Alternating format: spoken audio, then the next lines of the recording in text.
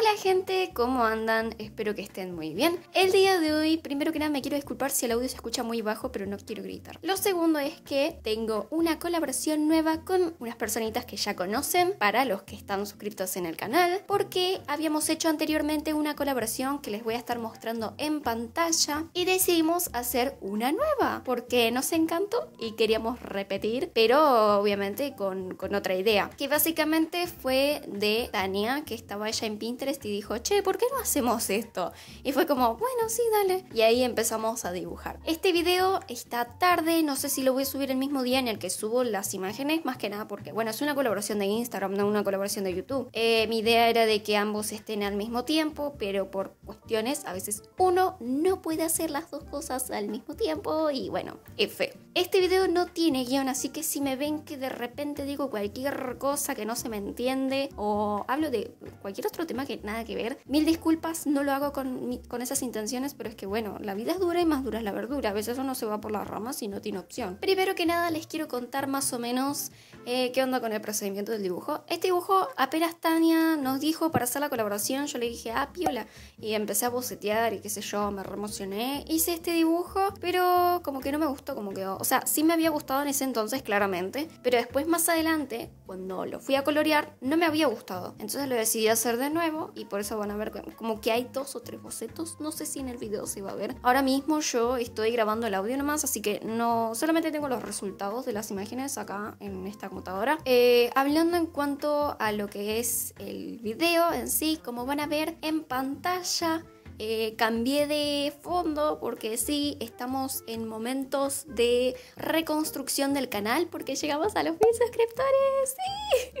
Ay, qué lindo, chicos. Es muy bonito eso. Tengo un montón de videos sobre ese tema. Lo que pasa es que todavía no terminé el especial de mis suscriptores por un montón de cosas más y nada, por tiempos. Así que estaba pensando en cambiar el fondo y que todo se vea un poco más bonito, más estético, porque bueno, hay que dedicarle tiempo eh, a lo que uno hace, ¿no? Sobre todo en YouTube es como que invertís bastante tiempo, quieras o no, si le dedicas tiempo, te va a robar más de lo que pensas. Em, así que hice una encuesta en Instagram, yo ya había hecho otro fondo anteriormente, de hecho para los suscritos, para los que no están suscritos, les digo, eh, el video pasado yo había puesto este fondo que está apareciendo en pantalla y no me gustó como quedó. Al principio sí, yo dije, ay, qué bonito, qué sé yo, y cuando lo vi después en YouTube fue como que asco, ¿qué es esto? Bacala. Em, y decidí hacer otro fondo y después, bueno, ahí hice la encuesta por Instagram eh, por Twitter, perdón, y salió estos resultados, así que a partir de ahora se va a ver los videos así, lo siento mucho para las personas que no les gusta, me lo pueden decir por los comentarios y lo podemos cambiar. Eh,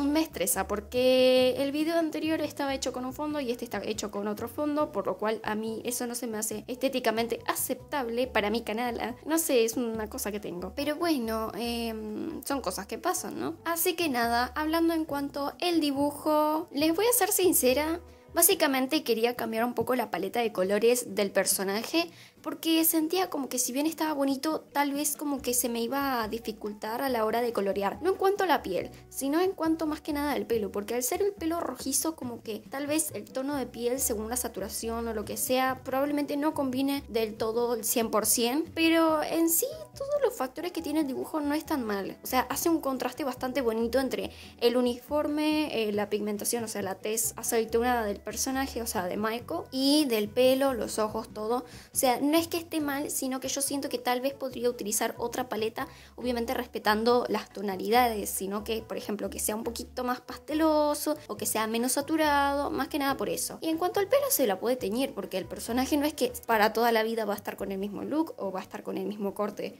o lo, que sea, con el color, no importa. Lo que se tiene que mantener, obviamente, es el color de ojos y el color de piel, porque obviamente eh, el personaje es así, no se puede cambiar. Y por ahí podríamos más adelante si llegamos a hacer otra colaboración o si a mí se me da por dibujarla, la voy a hacer en modo normal, en tipo vestuario normal. Así que no sé, durante todo este lapso de, de tiempo probablemente tal vez cambie algo y es eso lo que estuve haciendo también en este speed paint, que bueno, lo que les dije, lo de cambiar las tonalidades para ver qué onda. Y algo que se me dificultó mucho, bueno, era el pelo, porque cuando yo lo coloreaba por ahí se me hacía como que los colores estaban muy saturados, sobre todo el brillo. Y ustedes saben que yo a la hora de colorear siempre uso colores saturados, pero tampoco tan eh, de un lado extremo, ¿no? Porque es como, le pongo, por ejemplo, en los ojos un color saturado, pero tampoco que haga mucho contraste y se sienta como muy llamativo en el dibujo, ¿entienden? Es cuestión de ir fijándose. Este es un consejo que les puedo dar. Los colores saturados no significa que estén totalmente cancelados que no los usen. Simplemente ustedes lo que tienen que hacer es hacer una buena selección. Para detalles los colores saturados sirven, para vestuarios también sirven, para distintos tipos de escenarios también sirven. El problema es cuando vos los combinas mal o cuando excedes de esa cantidad. Así que nada, es un datazo por si acaso. Y qué sé yo, después empecé a hacer unas flores que no me gustaron para nada, así que cambié, claramente. Tuve un problema con el Medibank porque yo cuando inicié sesión me olvidé la contraseña, entonces tuve que cambiar un montón de cosas. Un lío tremendo, no sabía qué fondo hacer.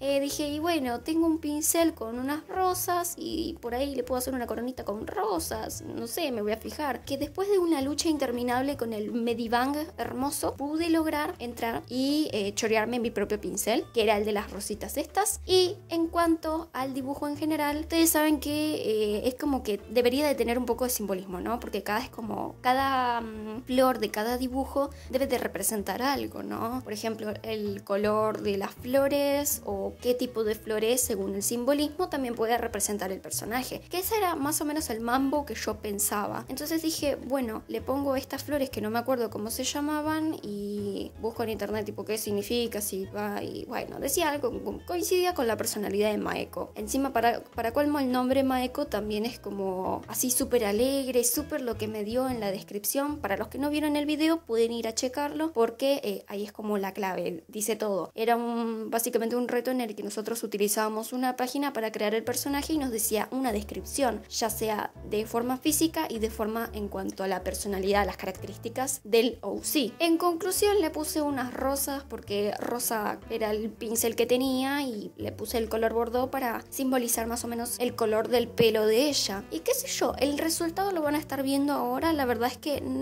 no se me hace que está mal, creo que está bastante bonito, me gustó mucho. Eh, sobre todo los de Tani, eh, o sea, Tami, Tania y Vaga, una belleza. 10 de 10, excelente servicio. La verdad es que es muy lindo colaborar con ellas porque además de ser responsables también lo que tienen es de que eh, no te hacen los dibujos así nomás, o sea, no es como que hay un desinterés o algo por el estilo, sino que simplemente hacen todo lo posible para que el dibujo esté muy bonito y la verdad es que se nota mucho el esfuerzo que le ponen y la dedicación, lo cual para mí eso es muy importante porque es, es algo lindo de ver. Así que nada, ahora les voy a estar mostrando el dibujo de la chica vaga. Me encantó esa paleta que usó muy bonito. La verdad es que Vaga tiene una de las cosas que yo, la verdad es que sinceramente envidio, pero sano, obviamente. No es que, ay, que, que, que mira cómo colorea estos dibujos. no, eh, es una, una, envidia sana, en el sentido de valoro mucho, es como que admiro, mejor dicho, la paleta que usa y es como que yo a veces trato de inspirarme a través de sus dibujos para elegir los colores. Y ahora van a estar viendo el de Tania, que la verdad, Tania, por favor, enséñame a hacer flores porque yo no, no sé si tengo que usar un pincel así de de, crota soy. Así que en alguno de estos momentos la voy a sobornar para que me haga una clase por Zoom. no, mentira. Eh, es que literalmente yo veo que dibujó muchas veces las flores y es un detallazo literalmente. Así que le quedó divino al igual que que vaga y al igual que el resto. Y por último vamos con el de Tami, que también me encanta porque Tami lo que tiene ahora es que es un estilo absolutamente distinto al que tenía anteriormente. O sea, sigue manteniendo algunas cosas, pero ahora no usa line Y me gustó muchísimo, muchísimo el coloreado, moto pasando, eh, las florcitas, el detalle de los honguitos. Y me gustó también porque lo que tenía vaga al principio cuando entregó el dibujo es que había hecho un fondo sencillo. Y lo mismo con Tami. Y esos fondos que habían hecho eran con colores muy pastel, muy tranqui palanqui y me gustó muchísimo. Después eh, Vaga le cambió el fondo y me dijo, bueno, lo voy a hacer todo rápido y qué sé yo. Y literalmente de un segundo al otro ya tenía el fondo y encima le salió muy bonito. Así que estos son los resultados totales de todas y espero que les haya gustado. La verdad es que fue muy bonito, me encantó los resultados finales, hacer el dibujo eh, y haber hecho la collab, obviamente. Si alguna de ustedes o alguno de ustedes les gusta hacer este tipo de retos, pueden hacer hacerlo obviamente, no hay ningún drama. Y nada, espero que les haya gustado el resultado y ahora sí, yo me despido. Bye bye.